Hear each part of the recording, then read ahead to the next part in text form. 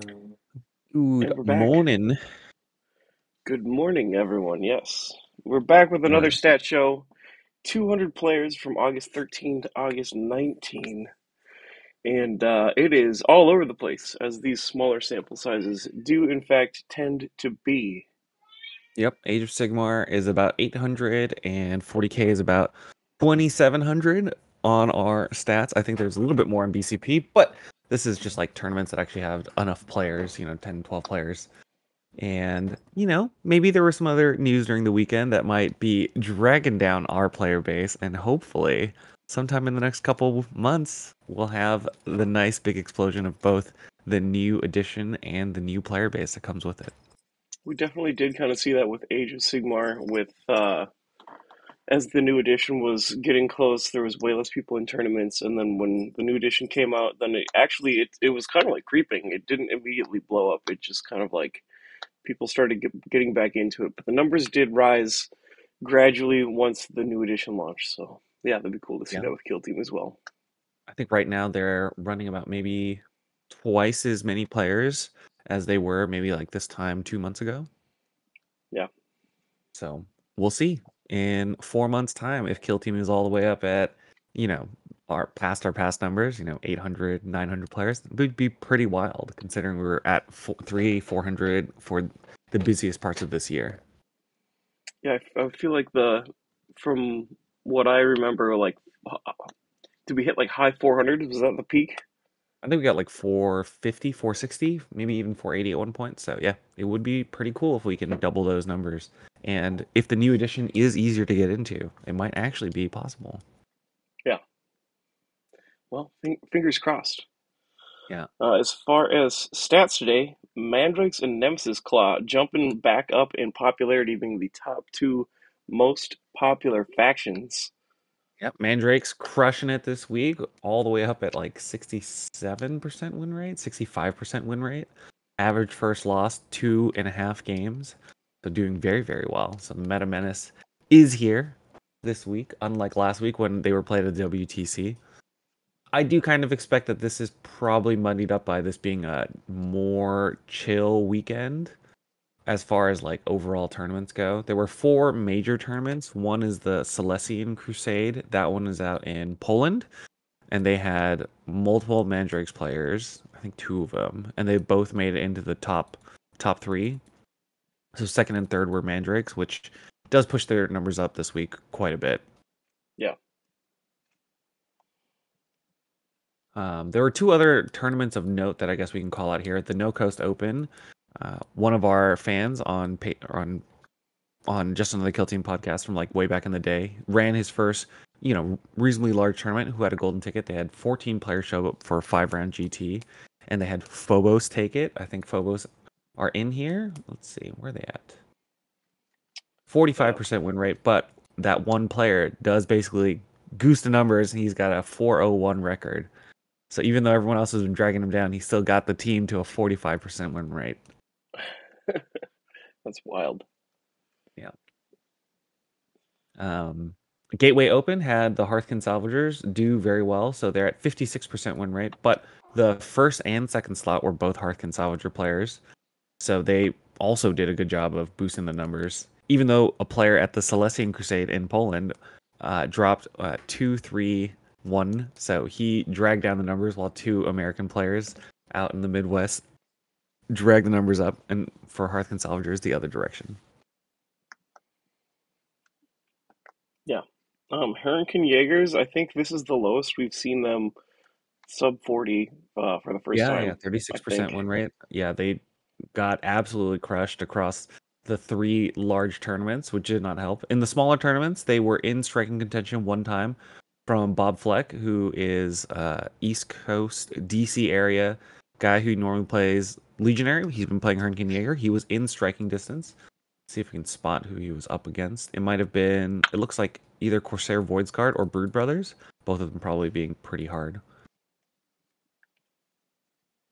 It was against Brood Brothers, lost by one point. So they were close to taking it undefeated this week.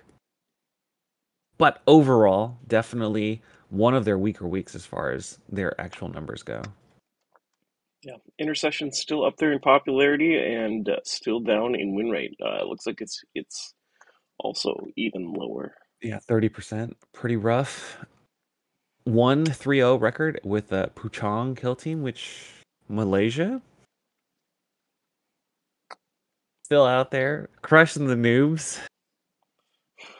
There was actually another note for the intercession squad. So there was another guy in striking contention in Rochester, losing probably to Fellgor Ravagers. So the rest of the field for Nick C was Mandrakes, Hunterclade, Gellerpox, Hernkyn Yaegir, Intercession, and Warp Coven. And I'm pretty sure his only loss is to Shane. So good job for him. Obviously, though, not winning that matchup. 24 to 11 against Fellgor. Yeah, not surprised by that at all. Fellgor are tough. Yeah, even on all engaged, you don't think you could take them, huh? I don't know. They uh, surprisingly are just they have a very e- uncomfortably easy time killing Space Marines, and Space Marines have an uncomfortably unreliable time putting down ten wounds, especially twice. Yeah. Yep, yep. So even though he was in striking contention against Shay, that's not really a a chance that I would uh, take. So intercession definitely have some troubles, especially against the melee hordes. Veteran Guard did have an okay week this week. You know, they were in striking contention one time. And, you know, they've been around a 50 50. This week they have a 61%. No one went an undefeated record. Everyone had a loss somewhere in the thing. But for the last round, it was a seven round tournament, losing only to Wyrmblade, which is a matchup that I think Veteran Guard should be able to take, at least in the past just because you could stop the locust with in death atonement, but maybe Wyrmblade at this tournament, you know, it's a smaller seven seven person tournament, had had a window that they shouldn't be getting. Yeah, there definitely is a lot of that in general, and and getting windows that you shouldn't is uh, is really is something you can just pull off and make crazy things happen. Yeah. We also have Compendium doing well this week. Unfortunately for us, a lot of players have eschewed using rosters for whatever reason, so I actually do not know what any of these Compendium players are playing, which is very frustrating. Um, we could rule out a couple things if there's some Compendium things listed, like uh, yeah, it's probably demons. Like, Hive Fleet normally has its own listing. Yeah, Hive Fleet so. does have its own still with 16 games. Um, is does Talons of the Emperor have its own thing? Uh, Talons might, but we don't have it this week, so it could be Talons and it could be yeah, Demons. Talons could maybe be in there. Demons, kind of the big ones. Yeah, I think one of the other big surprises for this week that I wouldn't have tracked is Imperial Navy Breachers actually had a really good week this week. Uh, really, in the sense that one of the players at the Celestian Crusade in Poland went 4 1 1, losing only in the finals.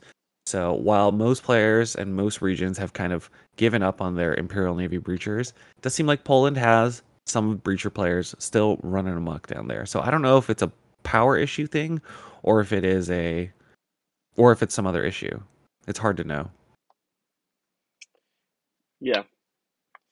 Yeah, I mean, uh, I did one more little look at them recently, and I, I mean, they they still have some teeth. Like you know, they yeah, they still they, seem like they the should hatch be good enough. still hatch cuts, bomb still bombs. It's just like damage reduction. And the power still, fist still reduction. slices people in half just fine. So yeah, yeah, we've got a power axe, that hatch fist, and then the explosive grenade, and those all still work. So I'm surprised to see them still do so badly. And then this week they did pretty well within striking contention. So maybe it is a situation that most of the good players have just been like, me, I don't really want to play Imperial Navy Breachers anymore. I'd rather play Blooded or something else. And speaking of Blooded, they did a very good weekend this week with two fully undefeated records in Torneo Alfornia, which is in Spain. Uh, first and third place went to Blooded. Second place went to Brood Brothers at that tournament. And How then many people did you say were at that tournament? Uh, the Spanish. This is a 24 person Spanish tournament, but only three rounds.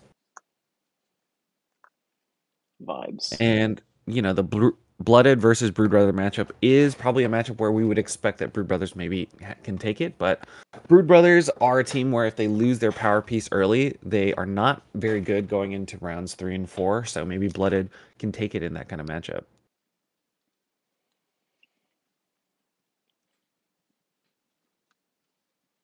Um, other big results for the weekend Corsair Voidscarred overperforming a little bit with three undefeated records two 3 0s and one 201, along with a couple of losses here and there. Uh, let's see Kill Team Termination, Battle for Neutral Ground, and Victory Games comics. All different regions one in Australia, one in England, and one in Virginia. The same tournament where Brood Brothers beat Hernkyn Yaegir in the finals.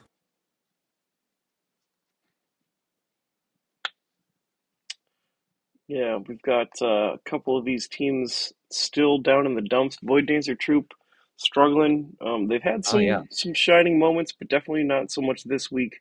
The same goes for Farstalker think- Kinband and Exaction Squad. and Legionary, surprisingly enough. A- An elites team that got a buff has not been able to hang with the rest of the crowd. To be fair, you know, Legionaries and Space Marines in general tend to be one of the more introductory factions, and one of the players did go 3 1 1 at the Gateway Open, losing his first round, winning the next three, and then tying in his finals. So maybe not the worst. And also at Phyrexian Life Games, I think, which is a Massachusetts area or like north, like north northeast, they went w- one one one, uh, getting into the final round and then losing. But that was against William York, who is going to the World Championships. He came in and to ACO got it. Wait, was it Will? I think it was Will.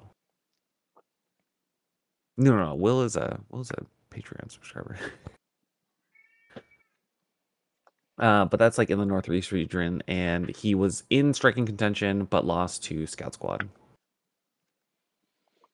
Which I wouldn't expect, because thinking about the Scout Squad versus Legionary matchup, Nurgle would be good in that matchup.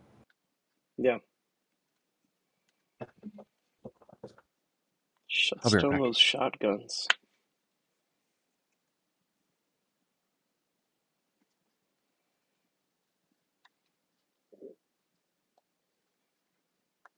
Yeah. I think looking at the other, there's a couple call outs for factions that were in striking contention for some reasonably sized tournaments Hierotek Circle, Hearthkyn Salvagers, Breachers, Phobos Strike Team, and Nemesis Claw. I think we did I call did we call it that Phobos had a fully undefeated record this week? Uh, I've definitely been reading about that a little bit right before we hopped on the show, and that is pretty wild.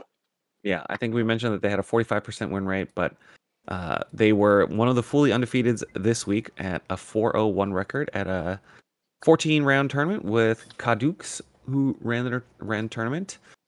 Uh, one of our older Patreon or Kill Team podcast Yeah. subscribers. And one of the big surprises is Hierotek Circle, who do not show up on our stats this week because there was a single player, or maybe you know sub three players who played them worldwide this week, and that was at the Celestian Crusade. They were three, they won three, tied a game, and then lost the last two.